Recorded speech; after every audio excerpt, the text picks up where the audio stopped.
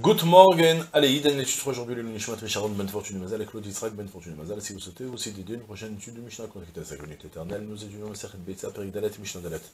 En portin et un ner mi pene sheu osekeli, ven osin pechamin beyom tov, ven chotrin et aptila lishnaim. Rabbi Yuda Omer chotra baour lishtei nerot.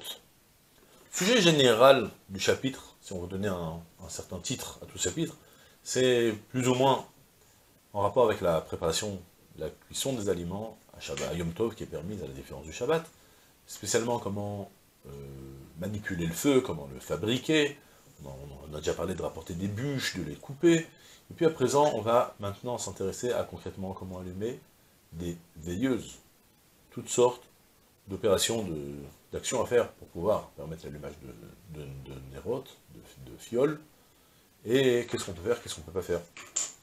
Chose qui ne se retrouve pas dans Shabbat, parce que Shabbat, on a le droit de manipuler le feu. Dans Beitza, on s'attarde beaucoup pour expliquer ça, puisque je te permets d'allumer le feu, mais je ne te permets pas de faire n'importe quoi pour allumer le feu. Il y a des règles. La dernière action, je te la permets. Euh, les marchirein, alors, toute action qui prépare, c'est, je précise, la Torah nous a dit, tu peux cuisiner à Yom, à Yom Tov si c'est pour les besoins de Yom Tov. Tu peux allumer du feu si tu as besoin de t'éclairer. Mais tout ce qui est les préparatifs pour l'allumage du feu, surtout ceux qui étaient préparables avant Yom Tov, tu n'auras pas le droit de les faire pendant Yom Tov. Ce qui n'avait pas le choix, alors il y a certaines permissions, comme on va découvrir au fur et à mesure. Donc, premier sujet maintenant, on va s'intéresser à allumer une veilleuse. Allumer une veilleuse, alors ça implique de prendre, alors initialement, fabriquer des veilleuses en, argile, on prenait de l'argile, une pâte d'argile, avec le poing, on formait une forme de fiole, on remplissait d'huile et on allumait. La Michal, elle me dit, en portine et haner mi pene on n'a pas le droit de, je sais pas c'est quoi le mot portine, c'est-à-dire euh, forger, on fabriquera, forger c'est plus on ne mettra pas en forme un, un, air, parce qu'on fabrique un, un air c'est une veilleuse, on ne fabriquera pas une veilleuse en fait, en deux mots, c'est que tu prends une pâte, tu la fabriques, tu peux prendre n'importe quoi, ça revient même dans n'importe quel domaine, si avec euh, nos solutions modernes, vous prenez de l'aluminium, ouais, par exemple des plateaux d'aluminium, vous prenez un aluminium, vous allez lui donner une forme comme ça pour fabriquer un air, vous n'avez pas le droit de le faire pendant une temps, vous êtes en train de fabriquer un air, une fiole. Ok? Eux le faisaient avec l'argile, chez nous c'est la même chose.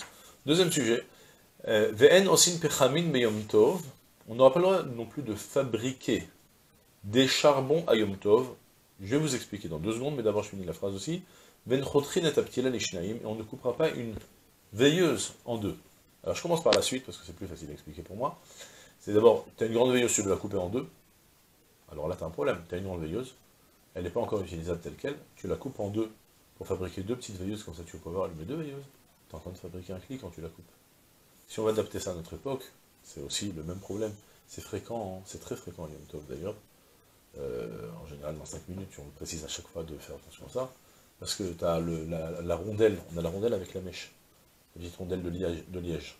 C'est fréquent que la rondelle de liège, elle a été prédécoupée, mais elle n'a pas fini d'être percée, d'être perforée. Et après, avec la mèche, quand tu rentres la mèche, tu la casses. Tu es en train de fabriquer un nerf en ce moment. Mais même ça, même s'il n'y a pas le problème de, de perforer, je crois que même le fait de simplement prendre la, mèche et de, l'assembler avec la fiole, je crois que c'est aussi interdit à cause de, de, il n'y a pas de raison que non, je vois pas tellement. Apparemment, ça devrait. Il faut préparer, en deux mots, préparer toujours les, les fioles depuis avant D'accord? Et sinon, utilisez les anciennes, mais ne, ne fabriquez pas une nouvelle. Et ça, c'est d'abord pour couper le nerf. Il y a toutefois une solution à couper la, mèche.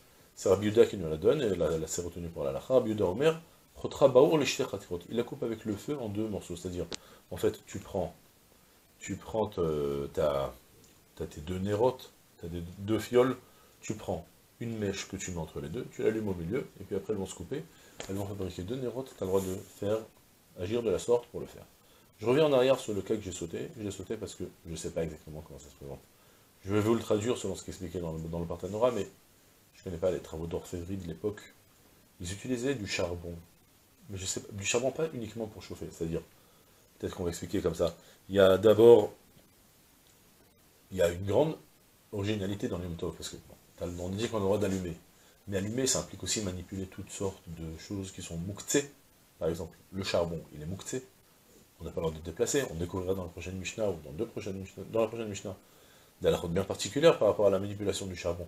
Le strict minimum pour l'allumer, mais pas pour en faire autre chose. Et je ne sais pas exactement pourquoi, chez les orfèvres, dans, dans ils utilisaient des charbons, mais pas que pour chauffer quelque chose, je ne sais pas ce qu'ils faisaient avec, comme euh, travail. Et ils avaient besoin donc de fabriquer des charbons. Et du coup, la Michel me dit, ben, tu sais quoi? Si tu vas prendre un charbon, c'est-à-dire fabriquer un charbon, c'est que tu prends du bois, et tu vas le passer au feu, pour qu'il va devenir tout noir, de manière à ce qu'il va pouvoir être facilement allumable. D'accord? Il faut mettre le feu pour qu'ensuite le feu il prenne mieux.